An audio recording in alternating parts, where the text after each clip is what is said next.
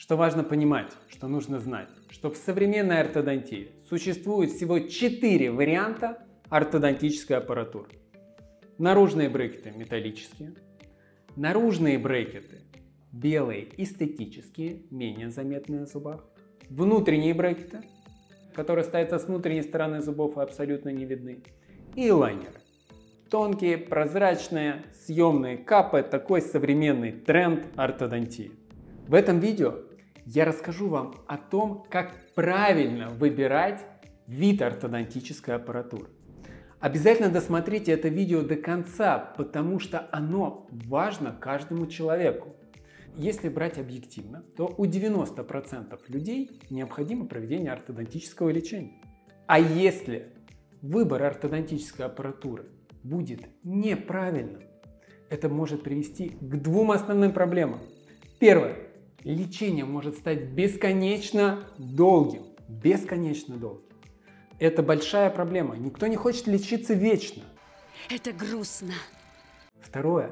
Если неправильно выбрана аппаратура, то она будет настолько серьезно оказывать на вас психологическое давление, настолько раздражать, что вы просто не сможете выдержать весь процесс ортодонтического лечения.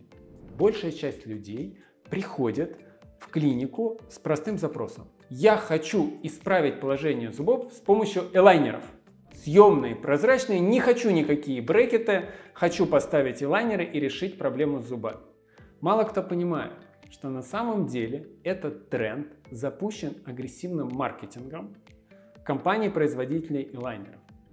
Передовиком в этом вопросе является американская компания Invisalign, которая первыми стали таким глобальным инструментом для лечения с помощью элайнеров и очень активно рекомендовали и рекламировали себя, вкладывали большие деньги в рекламу. И поэтому большая часть людей приходит и говорит, брейк это ерунда, прошлый век, мне элайнеры. Но здесь есть один важный момент. Они снимаются. Снимаются на время приема пищи, на время чистки зубов. Но в то же время они работают только если во рту 22 часа в сутки. Если элайнеры носить меньше по времени, они просто не работают. Их работа все время сбивается. И положение зубов очень часто откатывается на начальный уровень.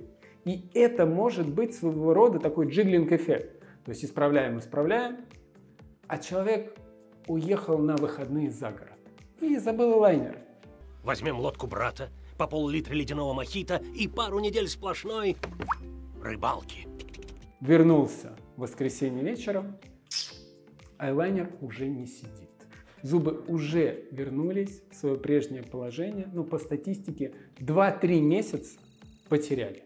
Допустим, он забыл их всего лишь два раза за весь период. Он что такое два раза не надел, правильно? Ну, то есть в принципе. Но это плюс 6 месяцев к лечению. Мы понимаем, что лечение на элайнерах требует концентрации и осознанности. Ни один человек на Земле не способен сохранить эту концентрацию и осознанность в течение 3-4 лет. Так давайте будем ставить задачи ортодонтического лечения на элайнерах, которые будут соответствовать году, максимум полутора годам лечения. Не нужно ставить нерешаемых задач для данного вида аппаратуры. Поэтому, если мы хотим провести большую глобальную перестройку прикуса, то использование элайнеров может быть будет более затрудненным в решении данного вопроса, чем использование брекетов. Многие сравнивают, что лучше. Лайнеры лучше или брекеты лучше. Лучшим является правильная постановка задач для конкретного вида аппаратуры. Человек получит тот результат, который он ожидает, доктор, соответственно, проведет качественное лечение, будет необходимый результат. С брекетами еще интереснее. Брекеты я называю эту технику «поставил и забыл». Легко сказать, скажете вы. Такое не забудешь, когда у тебя брекеты в полости рта. Поначалу действительно это шок. Это супер сложно. Это кажется, все, я так не выживу. Или так, или никак. Таковы условия. Действительно, некоторые люди, и в среднем они составляют 1-2%, они, правда, не могут привыкнуть к аппаратуре. И снимают брекеты, как правило, на второй-третий день. Ну все, терпение лопнуло. И именно поэтому мы очень много внимания уделяем подготовке к лечению на брекетов. У нас там есть две, иногда даже три консультации перед тем, как человек поставит брекеты. Да, мы выясняем, какой уровень мотивации, какой уровень задач он ставит перед ортодонтическим лечением. Это все очень важные моменты. Брекеты точно не требуют спешки. Это не так, что захотел и пошел купил машину. Причем многие считают, что проблема брекетов это дорого. Но на самом деле брекеты это самая доступная часть современной стоматологии. Если сравнить с другими стоматологическими процедурами, ну я не знаю, два имплантата с коронками, таких качественных, там, с костной пластикой, это все ортодонтическое лечение.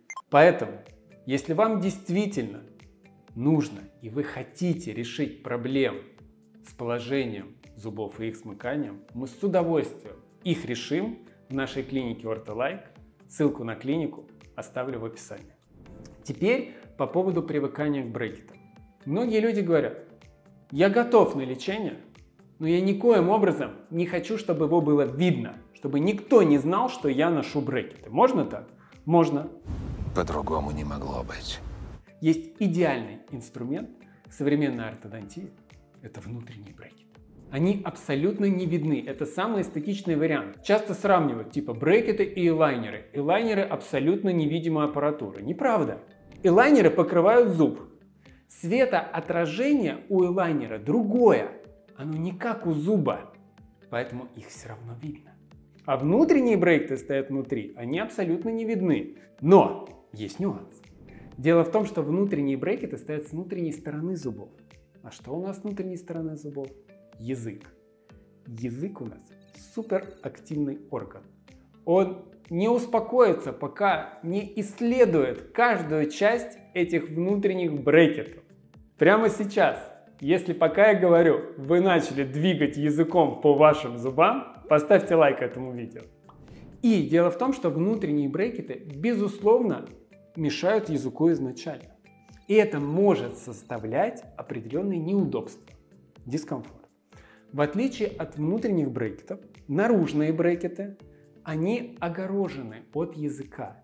И поэтому к ним привыкать легче. Щеки и губы не такой чувствительный инструмент, как язык. Знаете, как говорят? С наружными брекетами легко первые 6 месяцев, а с внутренними брекетами все оставшееся лечение. Я не знаю, почему люди решили, что лечиться на брекетах нужно год. То есть во всем мире средние сроки это 2 года, но, но в голове у каждого человека год. В общем, нет никого, кто через год не спросил бы, когда снимать брекеты. С внутренними брекетами ситуация другая. Мы говорим, пора снимать. А нам пациент говорит, ну, в принципе, мне все равно. Есть можем снимать. Ну, я могу ходить. Если что-то вы еще можете улучшить, то без проблем. В принципе, я к ним уже привык. Реально, снимать внутренние брекеты не хотят. Поэтому, что важно знать? Хотите максимально эстетическое лечение, внутренние брекеты – ваш выбор. Можно поставить брекеты наружные. Да, это и наиболее рациональный с точки зрения финансового аспекта инструмент. И владеют наружными брекетами все ортодонты, умеют на них лечить. У нас хорошая школа, я уважаю наше образование. В общем, все ок, то, что вы получите достаточно качественное лечение, я в этом не сомневаюсь. Особенно если вы проходите в Ortolife, я это вообще гарантирую.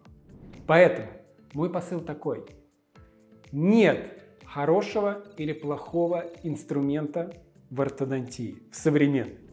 У нас есть наружные брекеты, есть внутренние брекеты, есть элайнер. Каждый из этих видов аппаратуры является достойной, эффективной техникой решения проблем с положением и смыканием ваших зубов. Но важно определить, какие цели мы ставим, насколько они глобальные и большие, и послушать вашего доктора.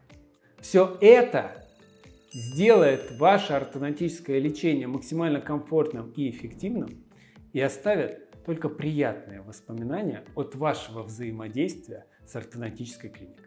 Понятно, как чистить брекеты наружные, а как чистить брекеты, которые за зубами? Здесь идеальный ответ. Потому что их чистить значительно проще, чем наружные. Потому что у нас внутри есть язык. И он не допустит, чтобы что-то там застряло между брекетами и так далее. То есть он настолько будет самостоятельно артикулировать и эффективно очищать, что какого-то серьезного внимания там нет необходимости прикладывать.